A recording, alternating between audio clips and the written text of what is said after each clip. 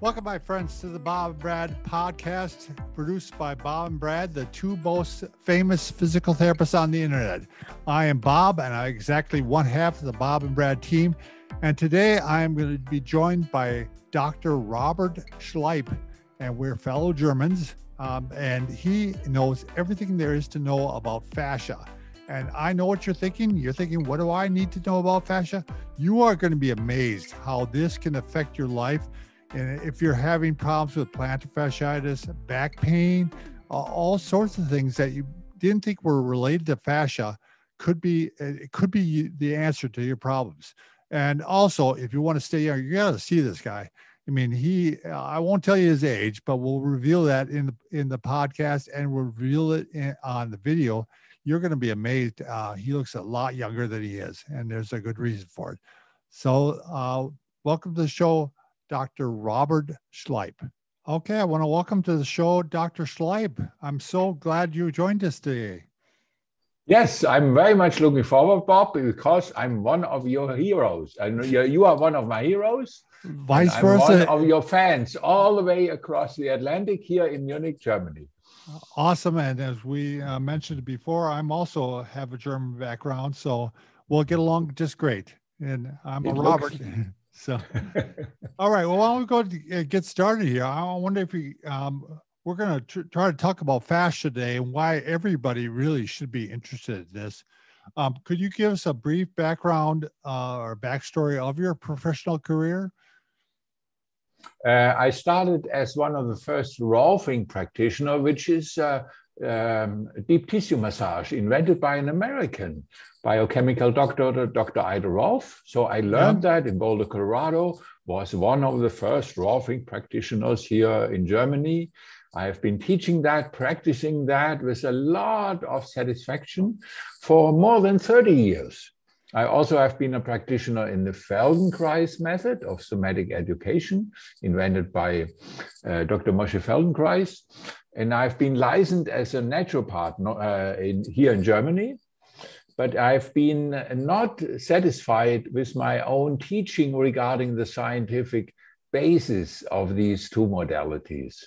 And that's why I ask for a sabbatical. That means where a teacher steps down, teaches less. Sure so that I could focus on something that I felt like I had not done before so much. And for me, that was wanting to deepen my scientific basis for these body therapies. And I liked it so much that I extended the sabbatical and then I extended it again because I get to get uh, because good. I happen to know the world leading researchers then and I could collaborate with them, and that was so exciting. So now uh, this is my, I think, 14th sabbatical, and my Rolfing colleagues they tell me, Robert, we miss you. But what you have been stirring up is also quite helpful, and they invite me to uh, to carry on. Is that is that when you obtained your PhD also? Yeah, yeah, yeah. Okay, so I, I went back at the age of 50 to the university oh. to do a PhD. Incredible. And my PhD was on fascia. So oh, uh, sure. uh, on uh, in these two modalities, in the Rolfing method more, there was a lot of fascia, which is kind of the muscular connective tissue that normally has been uh, considered to be a wrapping organ, keeping things together, but not as important as the content, as the muscles or the organs. But uh, I had been knowing or I have been hearing from my teachers that it has more importance than commonly is contributed to it.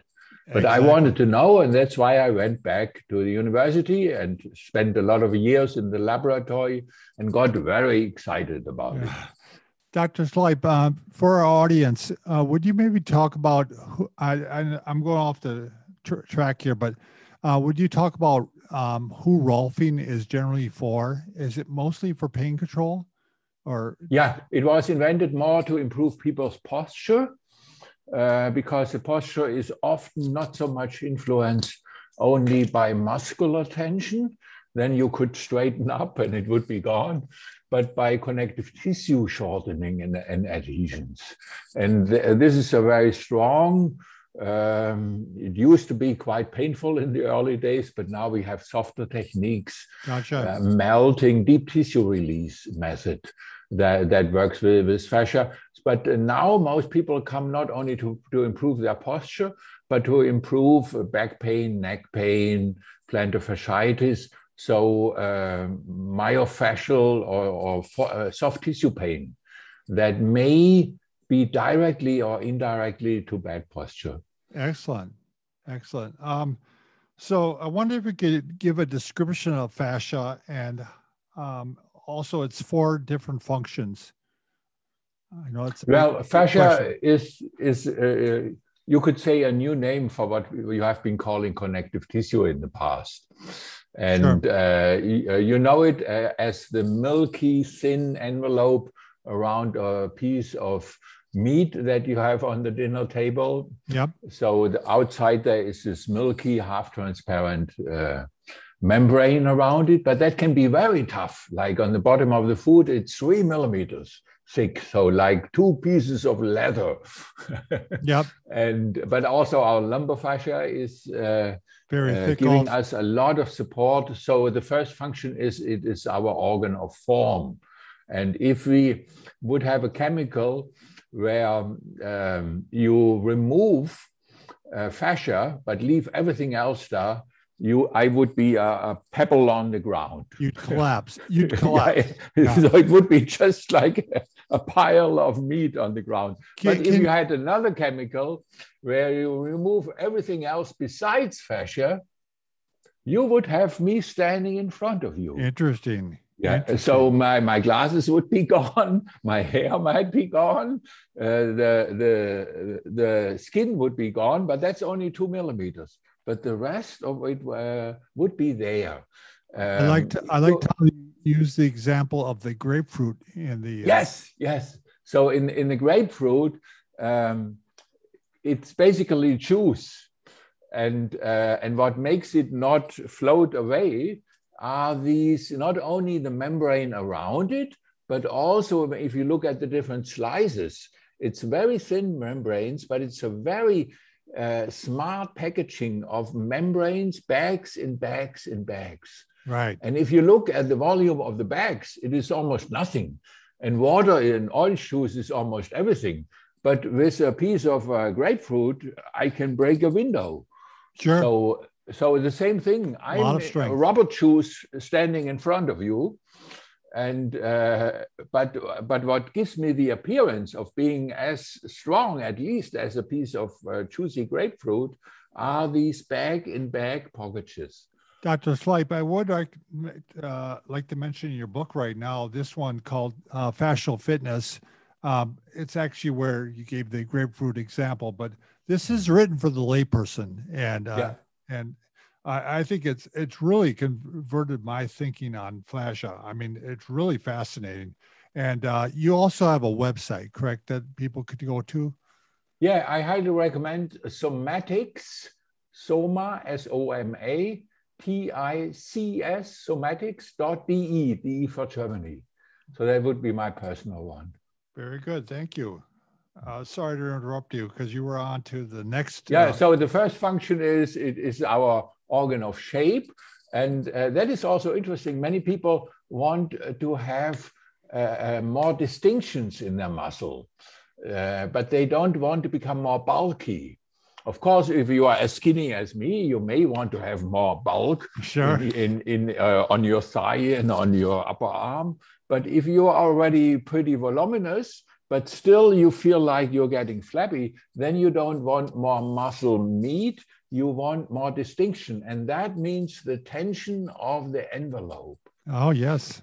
And and and whether your meat on your upper arm hangs down or whether it has a very nice tension, just like a fresh piece of grapefruit, is not so much the matter of how much uh, uh, meat mass you have, but of the envelope. So how much shape you have is to a large degree determined by the proper tension of the envelopes.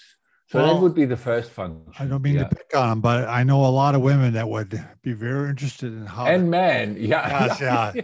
yeah. both, correct. So we can tell them how to exercise, yes. not for muscle mass, but for the proper elastic tension of these mem- membrane uh, mem membranous envelopes that you have around.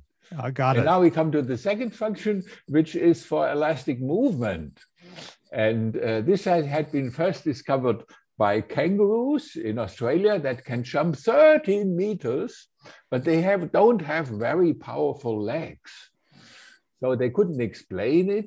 And then they found out that their Achilles tendon have a very high elastic recoil capacity. Oh, yes. So that means uh, they are like a rubber band. If you pull it, it bounces back very quickly. And you can use the stretch in the tendon and in the fascia just like in a elastic rope or in a bungee cord. So basically, their, their leg fascia were, were, were as elastic as bungee cords. And then they found out that there is one monkey that has the same um, bungee-like uh, fascia capacity for bouncing back, and that is not gorillas, not chimpanzees, not orangutan. It is you, Bob, and me. Really? And, uh, and, and people of our kind. So our leg fascia, and that makes us different from orangutans, in case you wondered. Gotcha. I was is just that we have this elastic skipping uh, possibility. And if you look at the way how children of Homo sapiens, not orangutans, yes. play, and that is different for each species, like uh, young cats play different than young horses or dogs. And now the question is, how do young Homo sapiens, how young humans play? And they do skipping games. Yes. So you see that everywhere. So we reinvent skipping and say this is fascia training. But now we have better evidence for it. So we are bringing back elastic recoil, hopping, skipping that our ancestors did for other reasons, for the mentality and the mood lift. But now we bring it back into, into uh, sports because we know it's not ideal for building up muscle strength. It's not ideal for building up cardiovascular endurance. It does, but we have better things. But it is ideal for increasing the bungee-like storage capacity that was neglected before. And why that is so important, it, one reason anyway, uh, I'm going to interject here, is obviously it's going to protect your joints. Yeah. Your, yeah. your, your knee, your hip, they're all going to last a lot longer if you got elastic, elastic recoil right, in it. Right, yeah, exactly. Yeah. And the bad message is if you don't move, your fascia changes from an elastic uh, stocking into uh, dry ropes that, that are more brittle and that can tear more easily. Is that is that the worst thing you could do with fascia? I mean, is that the the probably the number one cause of fascia going not bad? move at all? Yeah, probably. So we can have a debate. What is the worst thing you could do to fascia? Sure. uh, uh, so one thing it, it would be to immobilize it. Gotcha. So if you have a cast where you cannot move at all, afterwards your joints are stiff. So that would be almost the worst. The second worst you sometimes have to do, and that is getting surgery. Yes. Or injuries where you have scarring. And sometimes the Sure. scarring, for example, burn scars, often become so aggressive that the whole connective tissue loses that recoil capacity and everything becomes very, very stiff. Very, very good. Understood. Yeah.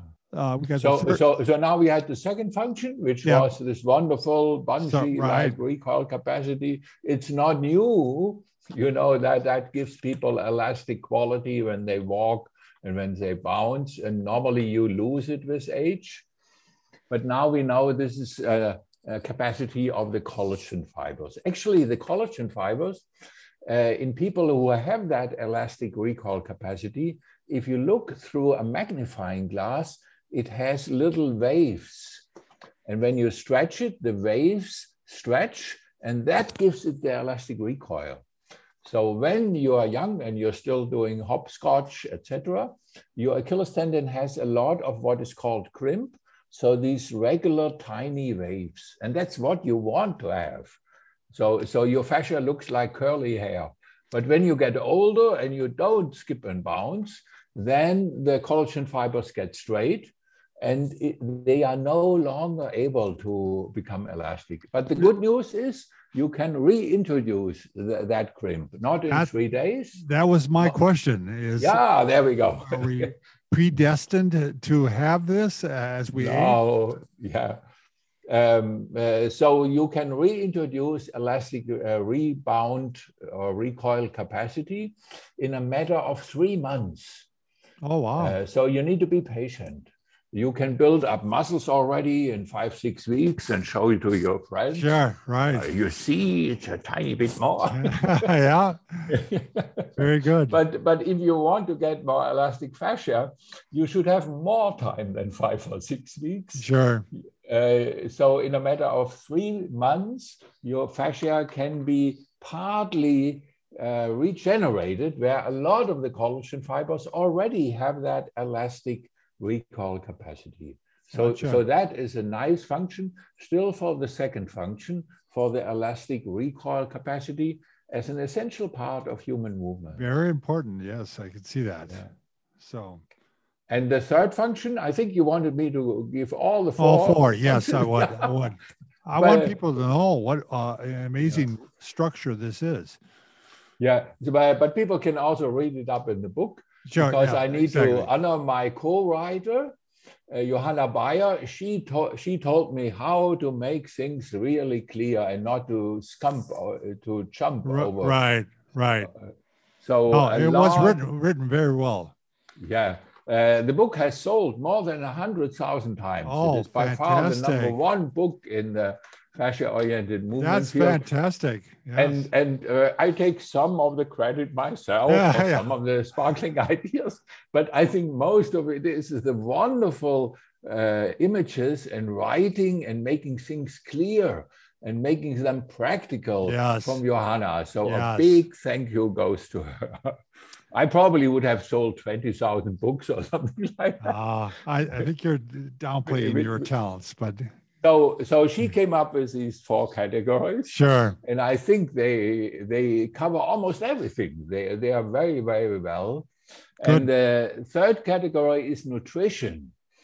And uh, that comes to the fact that the majority of fascia is bound water. So it is water that is attached to little collagen fibers, uh, elastin fibers, to hyaluronan that gives your uh, skin this very nice, useful capacity.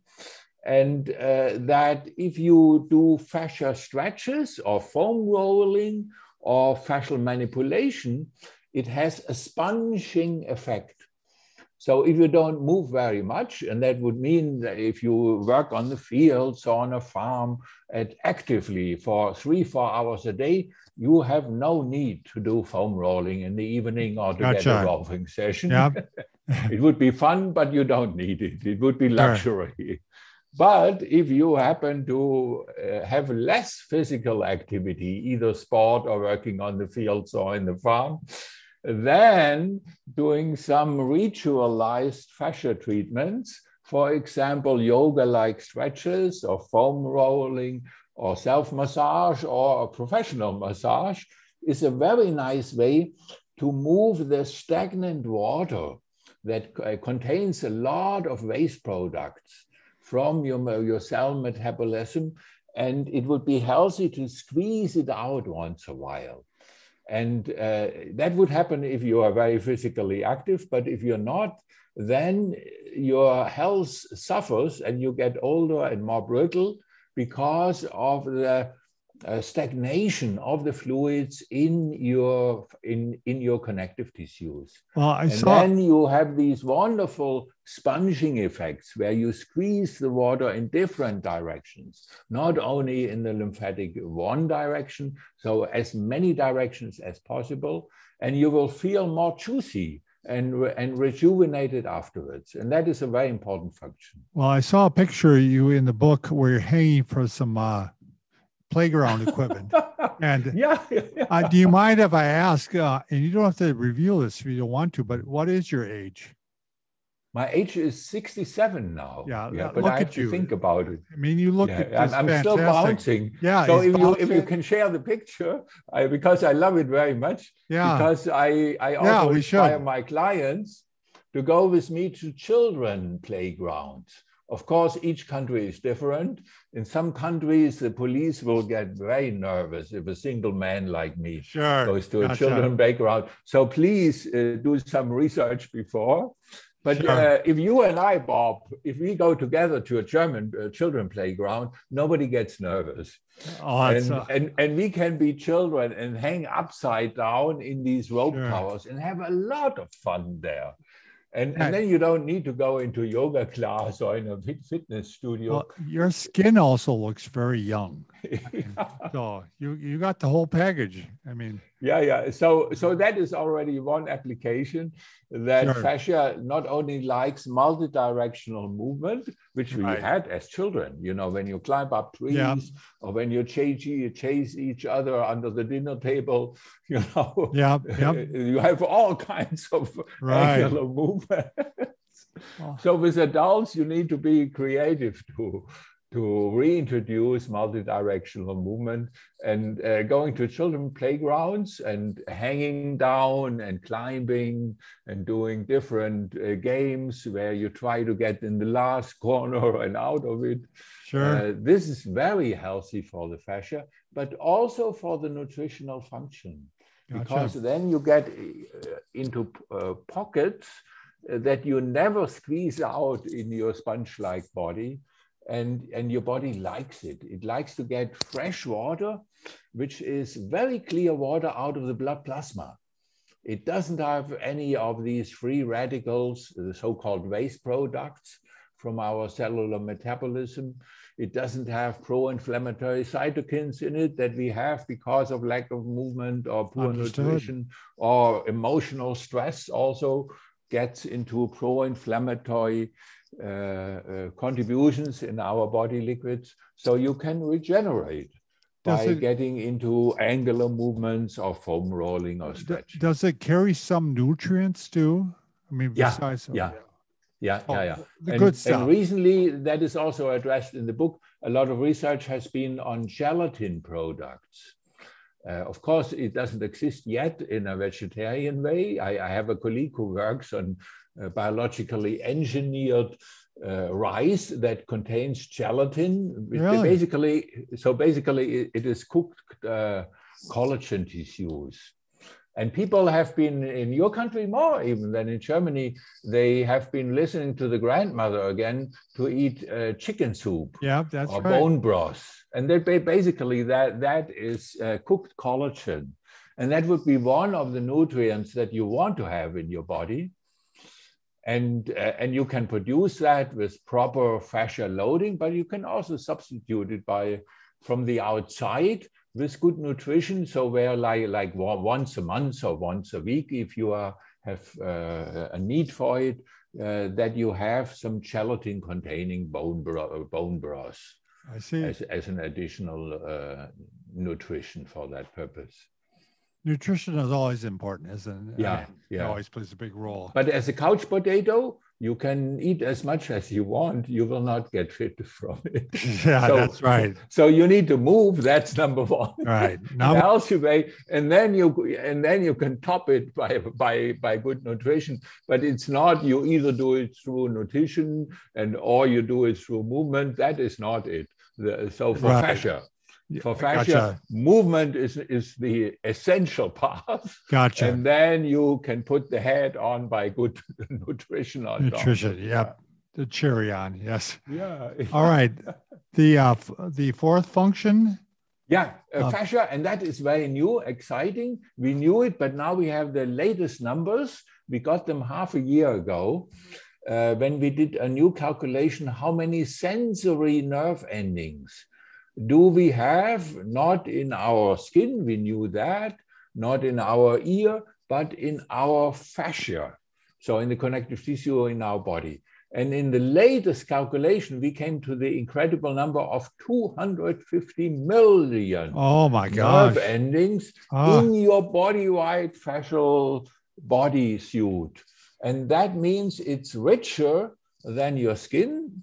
It's richer than your sense of seeing, where everybody assumed for Homo sapiens, for humans, this is our number one orientation in the world. For your dog, it's smelling. But we thought for humans, unless you're blind, it is seeing. You know, that is our dominant orientation. Right.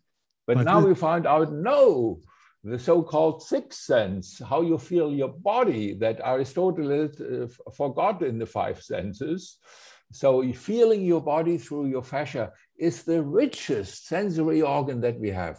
Now that has a lot of implications. First of all, we need to include more how fascia is organized, but also in how we train our children. You know, if we have them sit in school and only train their uh, hearing and seeing, uh, they are half uh, dwarfed, so they are Uh, uh, they are uh, they are not getting as much stimulated. So that yeah. is a major discovery. Oh, well, I we think... feel our body in movement and in space um, is largely coming from our fascial envelopes. Well, I think it uh, plays a large role eh, eh, upon you saying that in, in the elderly. I mean, to, to, try to prevent falls. I mean, yeah, if yeah, they, if yeah, they, yeah. If they can sense better, they're going to know where they are in space and and yeah, through their feet quite often, yeah. right? The fascia. Yeah. So and and now we are going into geriatric homes. Uh, music works quite well. So you have them standing and starting to bounce. So this oh, is a sure. muscular bounce, and you do that with them, and then everybody finds the bounce where they get this sense of lightness and and that is a very good pre uh, prevention also for these many falls that are happening in right because they are not at home in their body good for osteoporosis too i mean yeah. obviously it's going to yeah, strengthen yeah. the bone too so all right but well, i don't recommend people do it without some kind of instruction right or somebody with them so yeah yeah but the book is a good introduction because it goes from very gentle small exercises towards more moderate ones. Yeah, again, I want to mention the book, uh, Fascial Fitness Practical Exercises to Stay Flexible, Active, and Pain Free in just 20 minutes a week. Uh, in our area, you can certainly find it on Amazon, but it's it's all over. So I mean, yeah. you can find it. So very well written. Yeah, and thanks to Johanna Bayer, the co-author, she put the 20 minutes per week already on the cover because sure. it's not a replacement for walking and cardiovascular exercise and swimming and, and muscle right. exercise, but it's a complementation to add to add it to a, so to whatever people are already doing in terms of physical fitness. Dr. Schleip, we we kind of talked, we started talking about this, but uh, on how fascia can get, um, I suppose, injured. But one of the main things you talked about is surgery. So I'm just thinking about you know, it seems like in the, in, in the past, people would probably do the surgery and just cast aside yeah. the fascia and yeah. not be concerned about it. I mean, are they more cognizant of it now that they try yeah. to maintain it? Yeah. So, like when the appendix surgery in the past, yes, they took all the three fascial layers and glued them and stitched them together. Oh gosh! So, so like sewing them together because uh, they were considered just as uh, uh, moderately important as the wrapping of, of a Christmas present. And now they changed their procedure very much just in the last few years. So the image that we came up, and I think it, it's, it's very suitable, is uh, when you get a Christmas present, it usually comes with an envelope, a wrapping, and people first look at the wrapping and say, that's very nice. But then you put the content, the real present, whether it's a watch or a little computer or whatever, or a smartphone, and then you assume that the present can be understood and made to work without the envelope. That is a normal assumption. And that's what the anatomist also assumed that you could understand each organ, even though it comes with a fascial envelope, by looking at it without the envelope. So for the muscles, you know, you put the envelope away and then you see origin, insertion, and you can say it probably is a hip flexor. Gotcha. But then we found out, no, the muscle in many people has a different functions and nobody could explain. But now in the last few years, we found out in some muscles, for example, gluteus maximus, 60% of the fibers go into the envelope. So it has a completely different function with the envelope than without. And that is similar like if you have your, your watch and you it doesn't work and you call the hotline and they say, Dr. Schleip, where did you put the wrapping? And I tell them it's in the garbage bin now downstairs. They say, sure. Would you mind getting it back out? Sure. and I give you more instructions. And then you learn that the watch only works in a certain way. You need to place it on one side of the envelope. And then you complain and say, I should have known before. And they tell you it's in the small print. It was known in the old literature, in old India, but also in complementary medicine. People like Andrew Taylor Still, the founder of osteopathy, Dr. Ida Rolf, they had put it in the small print. Is it crazy? But of course, it's a big surprise for everybody.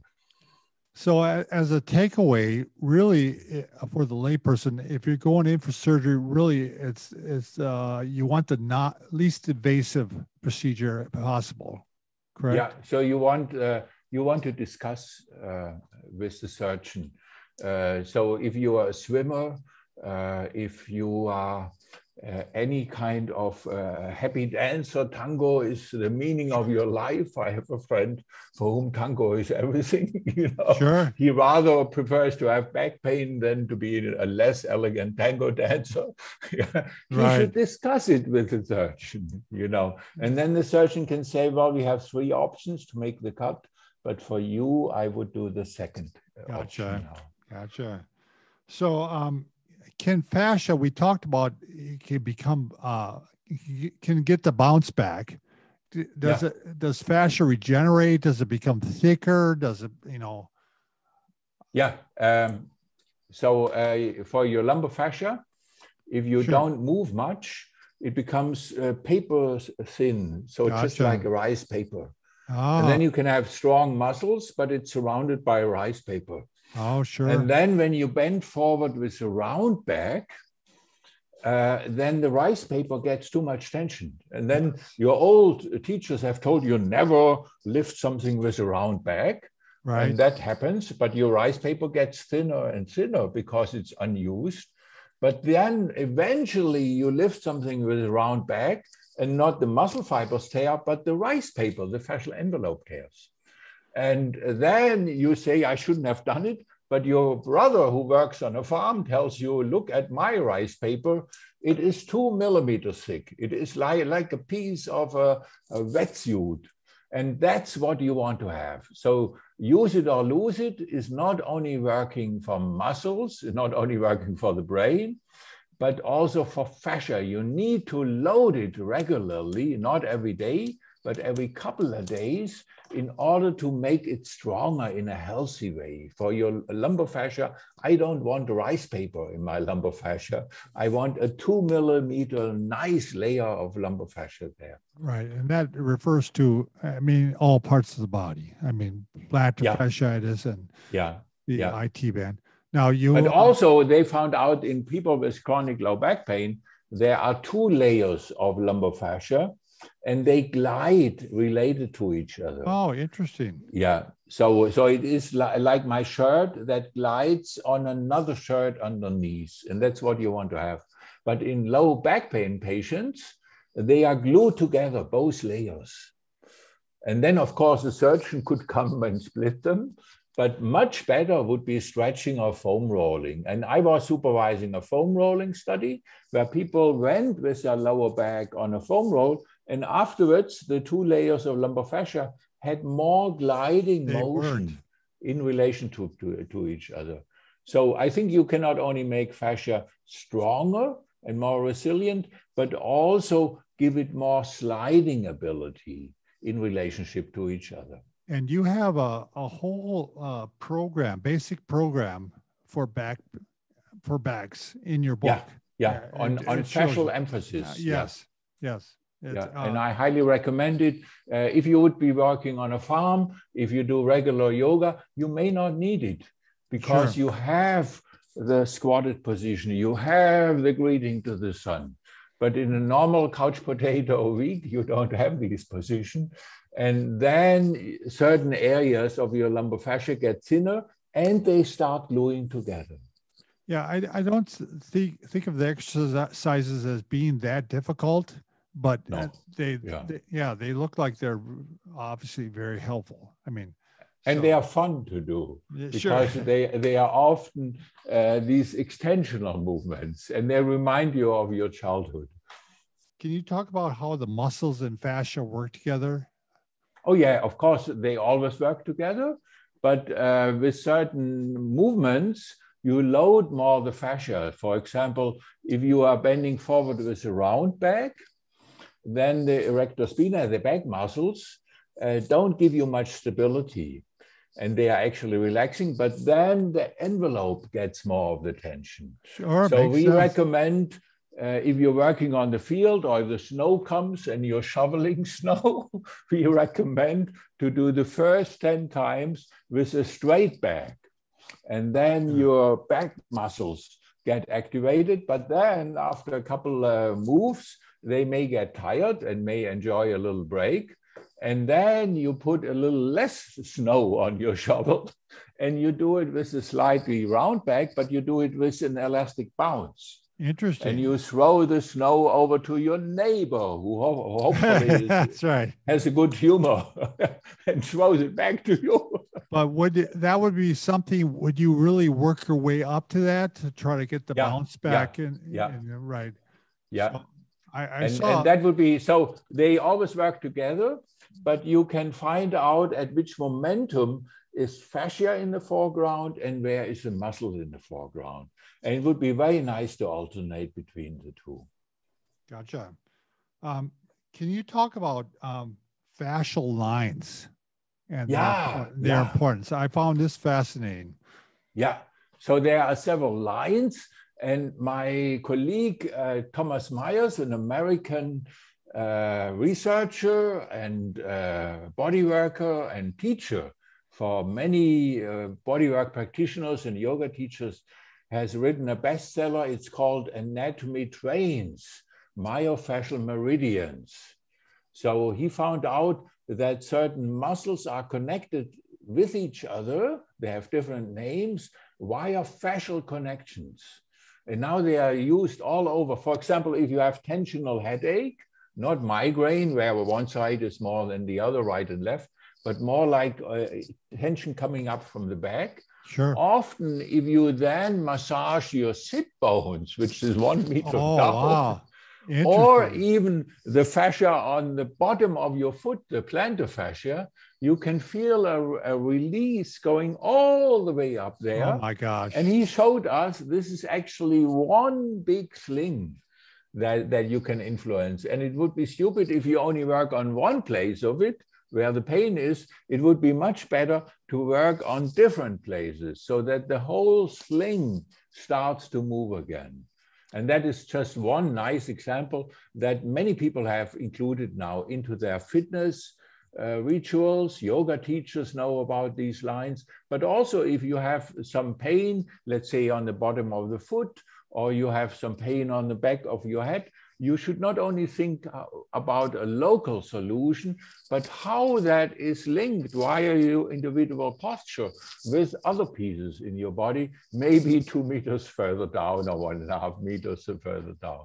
the first time I heard about this was, uh, and I know you don't know who this is, uh, Stuart McGill um, out of Canada. And Yeah. he, he brought it up and he was giving an example with the shoulder all the way down to the lower extremity. And, and uh, uh, yeah, I mean, he went into great detail on how it affected and He knows a lot about Y- these. yes. Yeah. He and I uh, are also coaching some of the world's best javelin throwers. that's that's what he was Uh, talking about. Yeah, yeah, yeah. And uh, they need strong muscle for sure. But with uh, strong muscles alone, you will not be a world champion. So you need an explosive muscular sling, not only from the arm, but actually down from the opposite leg and hip. And that's where the power comes out. Right. That's so from the pelvis, and then you need to have elastic fascia so that your wrist is the last thing that comes forward. If it's the first thing, you only throw six meters.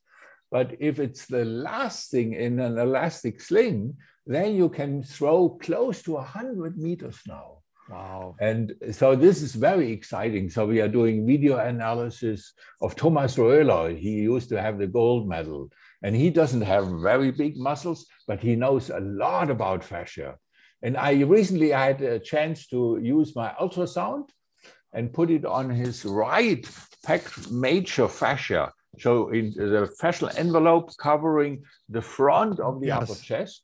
And in him, of course, the right side is much stronger than on the left he does he has no interest to become symmetrical yeah. because he has no pain sure. and he has a chance to be, get the gold medal again yeah sure. but uh, the fascial envelope in me is like half a millimeter thick his was three millimeters oh thick. my gosh this is wow. almost thick you know three millimeter fascia you only have that on the bottom of the foot so where you have right. your body weight on it but when he throws the javelin spear it's more than body weight what he has there. So we got very excited and looked at the elastic recall capacity and are now discussing with him how he can emphasize more on the elastic recall and fascia and not only on the contraction speed of the muscles. Well, I saw somebody, um, I think it was a, a, podcast you were doing, and maybe with somebody, and they were showing somebody dorsiflex their ankle, break their ankle up. Yeah. And then yeah. they were showing how it became restricted as you put your leg up and as you put your neck forward. Oh, uh, nice. Yeah. Yeah. So, so that uh, would be one of these things. Very, very yes, nice. Yeah. Yes. I didn't make that up. It was my friend Tom Findley. That's, that's who was, who was one of the leading fascia researchers.